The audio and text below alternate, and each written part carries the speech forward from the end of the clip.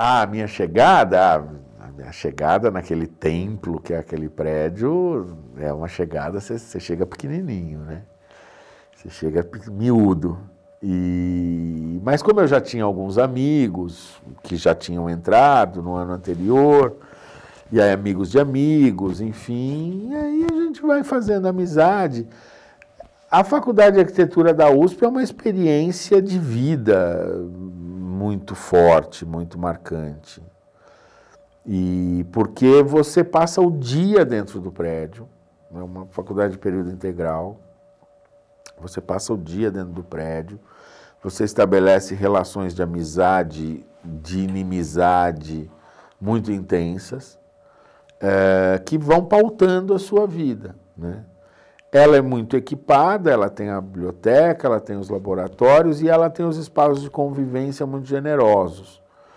Então, é, é, é um momento em que você tem uma vida gregária muito forte, muito, muito intensa, né, na vida do, dessa adolescência e pós-adolescência.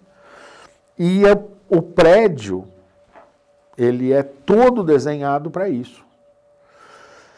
E o curso é um curso muito bonito, independente da profissão arquitetura, assim como o curso de direito, o, o, o curso de arquitetura é um curso muito bonito. Há alguns, eu, eu diria que há três cursos que são muito bonitos: filosofia, arquitetura e direito, porque são uh, conhecimentos humanos basilares. Né? Então é muito bonito, porque você faz o curso de arquitetura você está lidando com arte o tempo todo, você está lidando com história, você está lidando com civilização, com antropologia.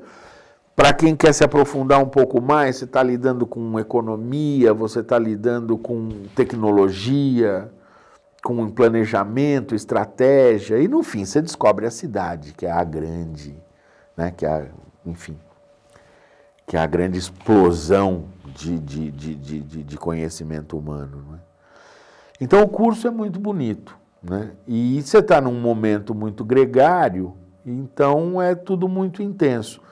Estudar na USP, lá no campus, na, na Fazendinha, é, é, é, é uma, uma, uma coisa muito específica, porque você fica isolado da cidade, não é?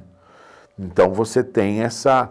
É uma diferença do Mackenzie, por exemplo, que onde hoje eu convivo intensamente, que é o campo central, que é uma outra experiência fascinante, né? Quer dizer, porque aí o campus é a cidade, né? Você está no ônibus, você está no táxi, você está no epicentro, né?